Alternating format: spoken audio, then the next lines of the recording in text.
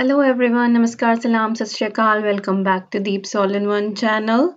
I hope you all are doing really well. आज सुबह मेरी फ्रेंड ने मुझे फ़ोन करके कहा कि उनको कोस्टको जाना है तो मुझे कुछ नहीं लेना था तो बस उन्हीं के साथ जा रही हूँ वहाँ पर और वेदर की हालत अगेन ऐसी ही हो चुकी है बादल हैं बारिश तो नहीं हुई थी सुबह से लेकिन बादल काफ़ी थे शायद रात को बारिश हुई थी तो काफ़ी दूर है सिटी से ये और बिल्कुल ही आउटर पर है तो सिटी क्रॉस करके ही जाना पड़ता है। और बस अभी हमारी एंट्री हुई है कॉस्को में और ये जग मुझे बड़ा पसंद आया। बहुत सारी चीज़ें कॉस्को में अच्छी मिल जाती हैं थोड़ी सी एक्सपेंसिव रहती हैं, लेकिन क्वालिटी बहुत अच्छी रहती है।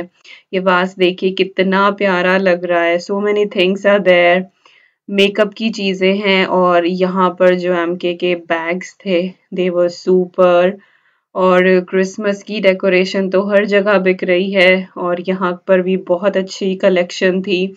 तो जिनके पास कोस्टको का कार्ड है तो वो जाएँ और ये चीज़ें खरीद सकते हैं। बहुत अच्छी अच्छी चीज़ें थी यहाँ पर। Christmas tree it's really big one और इधर ये पूरी की पूरी होम की आयल है। यहाँ पर सारी चीज़ें मैट्रेस प्रोटेक्टर मैट्रेस वगैरह, ये सारी चीज़ें मिल जाती हैं।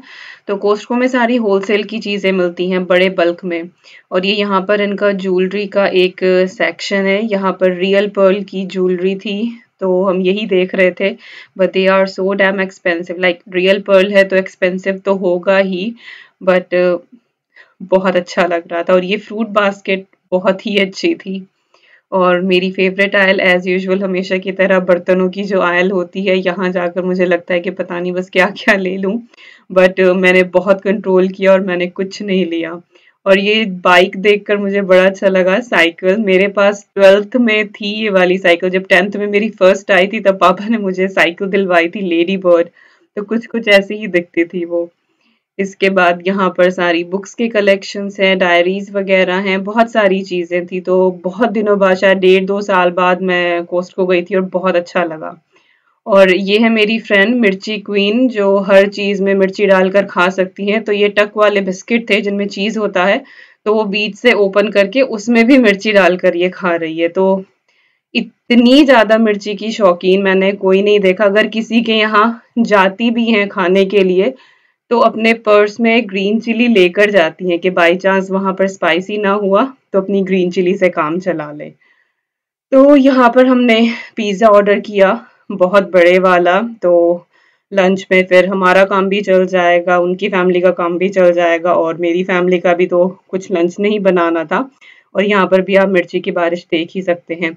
By the way she is dance teacher और ये बहुत जल्दी अपना यूट्यूब पर एक चैनल शुरू करने वाली हैं डांसिंग के बारे में। तो बस शॉपिंग वगैरह हमारी सारी हो चुकी है और हम लोग चल दिए हैं अब घर की तरफ़। और वेदर ऐसा ही है, बस अब डायरेक्टली जाकर बेटी को पिक करेंगे और फिर घर पहुँचेंगे।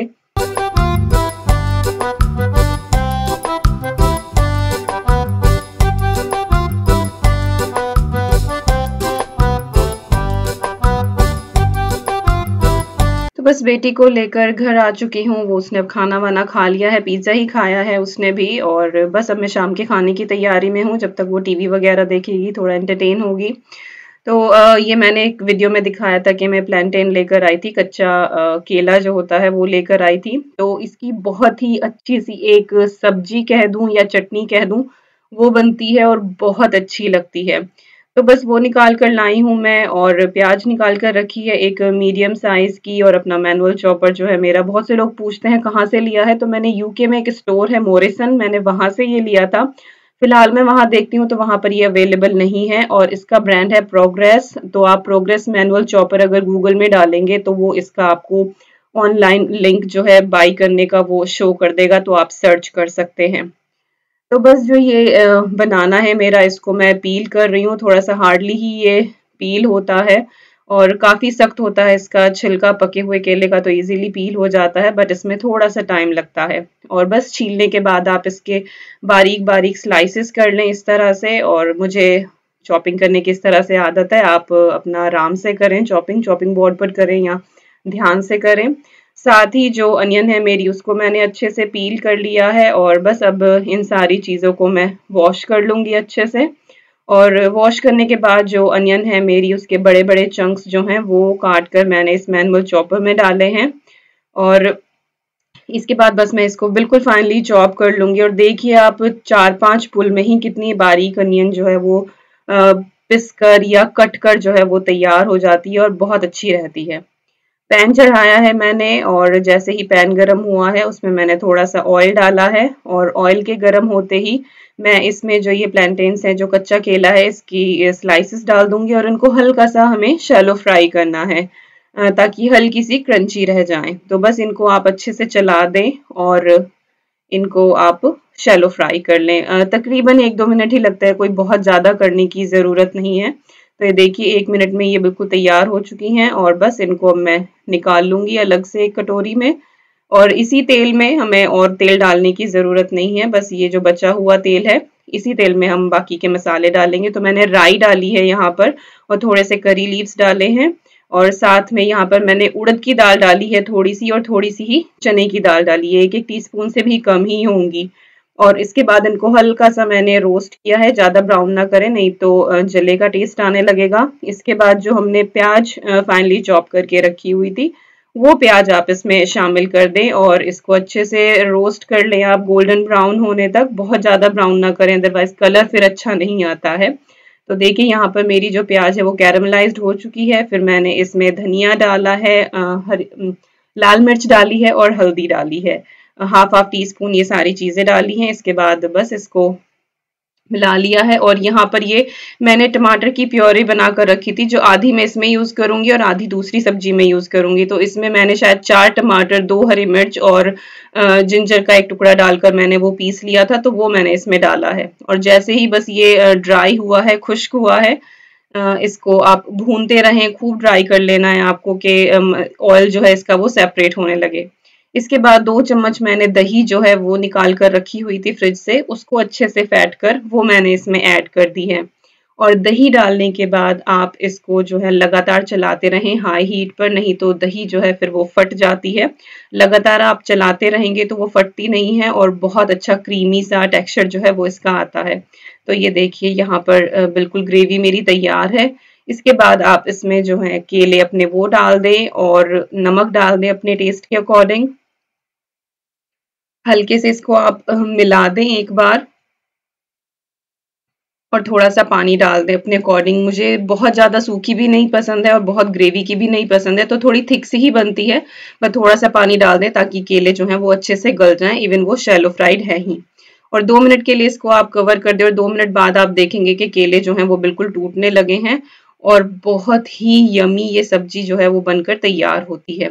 तो उधर जब तक केले मेरे पक रहे हैं, तब तक मैं दूसरी सब्ज़ी जो है वो बनाकर तैयार कर लेती हूँ। तो मैंने कढ़ाई चढ़ाई है ऑयल डाला है उसमें और उसके बाद जैसे ही ऑयल गर्म हुआ है, मैंने एक पिंच इसमें हींग डाला है, ऐसा फतीदा और फिर क्यूमन सीड्स डाल दिए हैं, जीरा। और फिर एक और अनियन मैंने यहाँ पर चॉप करके रखी हुई थी तो वो अनियन मैंने इसमें शामिल कर दी है और बस इसको आपको गोल्डन ब्राउन होने तक भूनना है। कुछ लोग पूछते हैं कि हींग क्या होता है? हींग का इंग्लिश नेम है ऐसा फटीरा और ये डाइजेशन के लिए बहुत अच्छा होता है। और यहाँ पर है ये बीन्स यहाँ पर कैन भी मिलती है इनकी तो मैंने उस कैन को अच्छे से वॉश कर लिया था क्योंकि सॉस के साथ आती है। और ये सोया बीन्स हैं अदरवाइज़ आप इनको रात को भी गोकर रख दें और इनको बॉईल कर ले तो सेम यही चीज़ होती है। तो बीन्स है मेरे पास, मैंने ये बाहर की ही ली थी उबली उबलाई आती हैं यहाँ पर कैन में।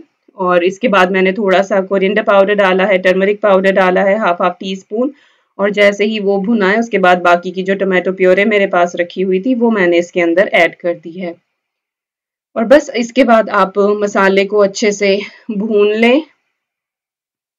जब तक ये बिल्कुल मसाला आपका ड्राई ना हो जाए, टमाटर जो है बिल्कुल खुश्क ना हो जाए और बस इधर मैंने रेड चिली पाउडर डाला है और किचन किंग मसाला जो है वो डाला है। इससे बहुत ही अच्छा फ्लेवर आता है इस सब्ज़ी के अंदर और बहुत अच्छी लगती है। तो जैसे ही बस सारे मसाले भुने हैं थोड़ा सा पानी डाल दिया है मैंने ग्रेवी के लिए और इसको एक बार आप पकने दें। जैसे ही पानी में बॉयल आए, उसके बाद आप इसमें बीन्स डाल दें। सॉल्ट डाला है, मैंने बीन्स में भी सॉल्ट मौजूद रहता है तो आप अकॉर्डिंगली ही डालें कि कितना आपको डालना है मसाले के हिसाब से। और जैसे ही इस पानी में बॉयल आया है, मैंने जो बीन्स हैं वो ऐड कर दी हैं। और ये हाइंस की बीन्स हैं और ये जो टमाटो सॉस के साथ आती हैं तो मैं इसको अच्छे से वॉश कर लेती हूँ और वो टमाटो सॉस जो होता है उसको निकाल देती हूँ, क्योंकि वो बहुत मीठा होता है और सिर्फ़ इन बीन्स को यूज़ करते हैं। इसके बाद इस ग्रेवी को आपको कितना थिक रखना है थिन रखना है उसके हिसाब से आप पानी डाल दें इसमें। तो मैंने थोड़ा सा डाला है क्योंकि हम रोटी के साथ खाने वाले हैं, चावल के साथ फिर भी थोड़ा बहुत पतला चल जाता है। तो हमारे हिसाब से बिल्कुल बेटर है। और उधर आप देख सकते हैं कि चाय का भगोना चढ़ चुका है और क्योंकि हस्बैंड आ गए हैं तो अब चाय पियेंगे हम लोग। और इधर ये एवोकेडो है, जो मैंने ग्रेट करके रखा हुआ था, और डेढ़ कप वीट फ्लावर है, और पिल्सबरी का जो है आटा आजकल मैं वो यूज़ कर रही हूँ। कभी ईस्टर्न का ले आते हैं, कभी हीरा का ले आते हैं तो जो भी मिलता है वो ले आते हैं, और सभी मुझे तो लगभग एक से ही लगते हैं, ठीक ही लगते हैं। थोड़ा सा सॉल्ट मैंने आटे में डाला है और इसके बाद बस मैं इसको अच्छे से क्रम्बल कर लूँगी। और एवोकेडो डालने का मकसद ये है कि एवोकेडो का अपना कोई ऐसा टेस्ट नहीं होता, लेकिन बहुत हेल्दी होता है खाने में। तो इस तरह से आप आटे में डाल सकते हैं। तो रोटियाँ, पराठे आपके बहुत सॉफ्ट बनते हैं और आपको न्यूट्रिशन भी अच्छा मिल जाता है।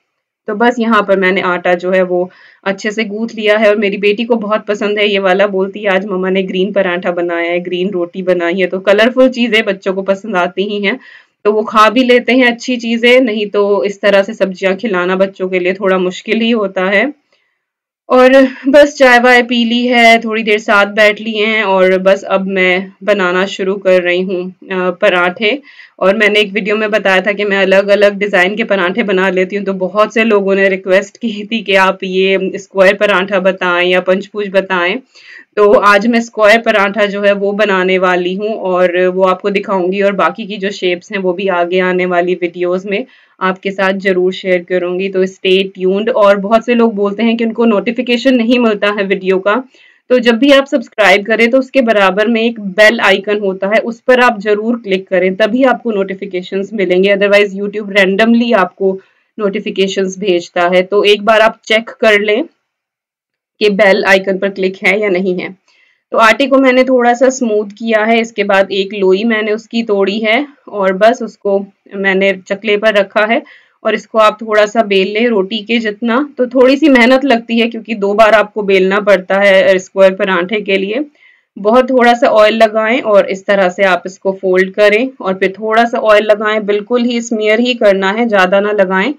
और बस इसको आपको इस तरह से स्क्वायर शेप दे देनी है पलट कर मैं एक बार और आपको दिखा दूँगी तो आपको पता लग जाएगा कि किस तरह से। और बस फिर आप ड्राई फ्लावर लगाकर इसको बेल लें। किनारों की तरफ़ से बेलें, नहीं तो कई बार किनारे जो होते हैं, वो मोटे रह जाते हैं। और अंदर से फिर पराठा पतला हो जाता है तो फिर वो फूलता नहीं है तो किनारे की तरफ़ से बेलें आप इसको। और जितना पतला, जितना मोटा रखना है, उस हिसाब से कर लें। तो ये देखिए, एक और मैं आपको यहाँ पर दिखा देती हूँ। तो ध्यान से देख लें इस क्लिप को आप एक दो बार रिवाइंड करके कि किस तरह से बनाया है मैंने।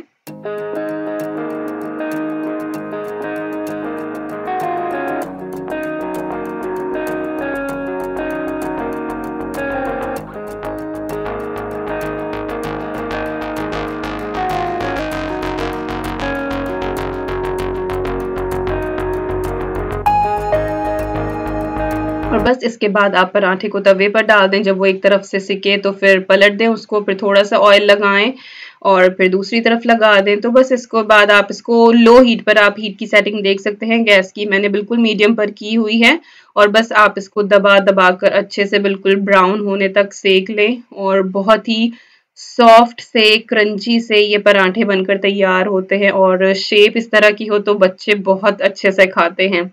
तो ये है हमारी आज की प्लेट केले की चटनी। चटनी ही बोलते हैं हम, बीन्स की सब्ज़ी या बीन्स करी और उसके साथ स्क्वायर पराठे और थोड़ी सी सैलड। और बहुत ही टेस्टी हमारा डिनर था आज का तो आई होप मेरी ये छोटी सी वीडियो आपको पसंद आई होगी। If you like it please give a big thumbs up share करें कमेंट करें। और सब्सक्राइब करना बिल्कुल ना भूलें। जल्दी ही हमें टू लैक सब्सक्राइबर्स तक पहुँचना है तो प्लीज़ प्लीज़ सब्सक्राइब करें। बिना सब्सक्राइब करे देखना बहुत गलत बात है। तो चलिए फिर से मिलते हैं कौन नई वीडियो के साथ आपके अपने deep soul in one channel पर। Thank you so much for watching lots of love to you all bye bye take care God bless you